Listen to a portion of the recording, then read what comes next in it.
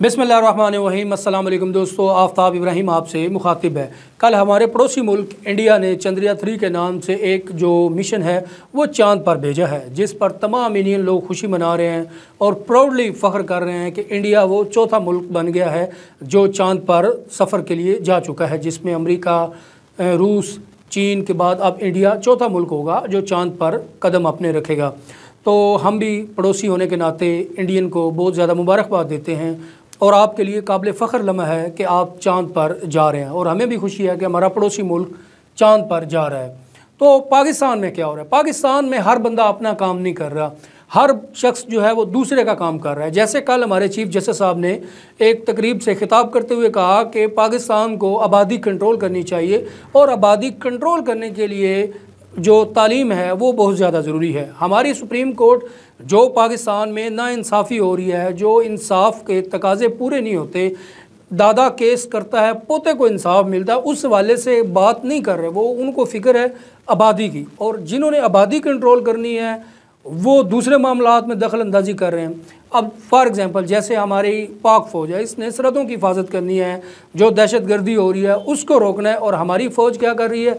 ज़रात में इनकलाब ला रही है, ज़रात में हकूमत के साथ मिलकर ज़मीन पर जदीद टेक्नोलॉजी के ज़रिए ज़रात में इनकलाब लाने की बातें कर रही हैं।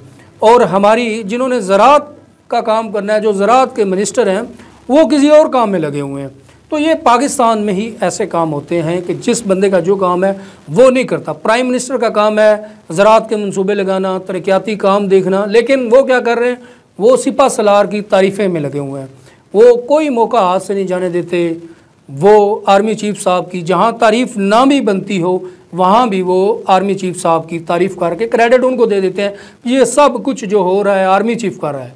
फॉर एग्ज़ाम्पल जैसे सऊदी अरब से पाकिस्तान को दो अरब डॉलर मिले और पाकिस्तान के स्टेट ऑफ़ बैंक में आए। इस पर शबाज शरीफ साहब ने कहा, इसका खालिस्तन जो क्रेडिट है, वो आर्मी चीफ को जाता है। आर्मी चीफ की वजह से सऊदी अरेबिया ने हमें दो अरब डॉलर दिए और वो पाकिस्तान के अकाउंट में आए। इसी तरह जो आईएमएफ का पैकेज मिला पाकिस्तान को, उस पर भी उन्होंने आर्मी चीफ का शुक्रिया अदा किया कि उनके जो सफारती ज़राए थे या उनके जो ताल्लुक थे, उस वजह से पाकिस्तान को ये कर्ज मिला है तो फिर हमारी हुकूमतें क्या कर रही हैं? शहबाज शरीफ साहब क्या कर रहे हैं? ये सारे काम आर्मी चीफ कर रहा है तो आप फिर वज़ी अजम बनकर क्या कर रहे हैं? आपका काम सिर्फ़ यही है कि आपके ख़िलाफ़ जो मुकदमात हैं, आप वो सिर्फ़ माफ़ कराएँ, अपनी फैमिली के करवाएँ। जब आप अपोजिशन में थे तो तमाम गवाह मौजूद थे। जैसे ही आप प्राइम मिनिस्टर बने तो उसके बाद उनको हार्ट अटैक आने शुरू हो गए। जितने भी गुआ थे, वो एक ही तरह से मर गए। तो आप सिर्फ़ ये काम कर रहे हैं और फिर आप ड्रामे करते हैं, किसी को मिलने जाते हैं, किसी का दुख सुनकर आपके आँसू भी निकल आते हैं। और पाकिस्तान जो है इन नया नगमा देगा, ये जो आ रही है चौदह अगस्त, और उसके मुकाबले में इंडिया क्या, अमेरिका भी ऐसा नगमा नहीं तैयार कर सकता।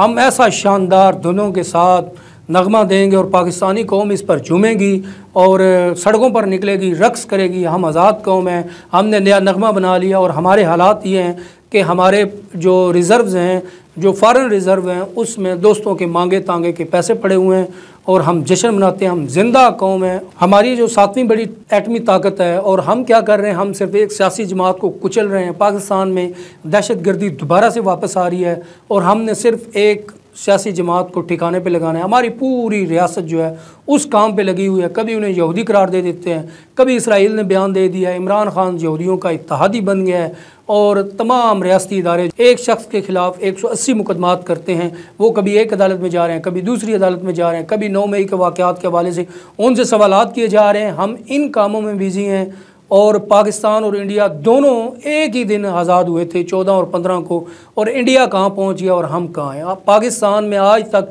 किसी प्राइम मिनिस्टर ने अपने पाँच साल पूरे नहीं किए, जबकि इंडिया में जितने भी वज्रा अजम आए हैं, उन्होंने पाँच साल पूरे किए हैं।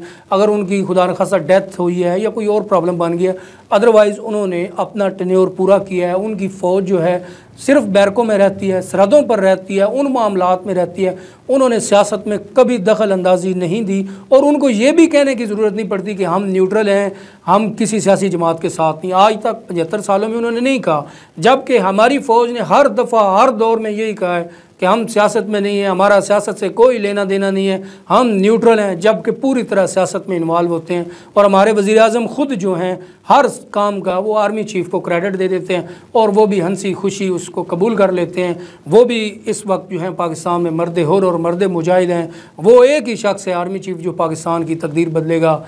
और वो भी कह रहे हैं कि हमें दुनिया की कोई ताकत तरक्की करने से नहीं रोक सकती। तो भाईजान, आपके किसी ने पाँव पकड़े हुए हैं, आप तरक्की ना करें। कौन रोक रहा है आपको तरक्की करने से? आज तक हमने तरक्की क्यों नहीं की? किसने रोका हमें? किसी ने नहीं रोका। हमारे करतूत ही ऐसे हैं कि हम जब तरक्की करने लगते हैं तो हम डिस्टेबलाइज की तरफ़ चले जाते हैं, हम एक दूसरे की टांगें खींचना शुरू कर देते हैं तो यूँ फिर हमारी चीज़ों को रिवर्स गियर लग जाता है और हम वापस वहीं आ जाते हैं। जिस तरह वो कहते हैं ना, खोती बोर्ड थले, हम इधर से घूम घाम कर, तरक्की करके वहीं पहुँच जाते हैं, जहाँ की हम खाक होते हैं। तो इंडिया जो है, उसमें एलन मॉस्क के साथ वो मीटिंग करता है नरेंद्र मोदी। वो इंडिया में जदीद आईटी सेंटर बनाने की बात कर गूगल का सीईओ इंडियन है। हर जो बड़ी पोस्टें हैं टेक्नोलॉजी की, वहाँ इंडियन मौजूद है। इंडिया टेक्नोलॉजी में भी आगे चला गया। यही उसका नतीजा है कि वो अब चाँद पर पहुँच चुका है। और पाकिस्तान नगमा देगा। इन इस दफ़ा जो चौदह अगस्त पर नगमा होगा ना आपके रोंगटे खड़े हो जाएँगे। आपका दिल चाहेगा कि आप सड़कों पर रक्स करें और आपको रोटी, पानी, गुर्बत, बेरोज़गारी सब भूल जाएँगी। बस नगमे का इंतज़ार करें।